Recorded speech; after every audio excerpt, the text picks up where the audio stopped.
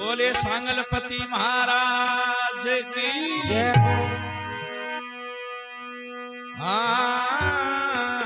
बीरा राम नाम गुणे गावो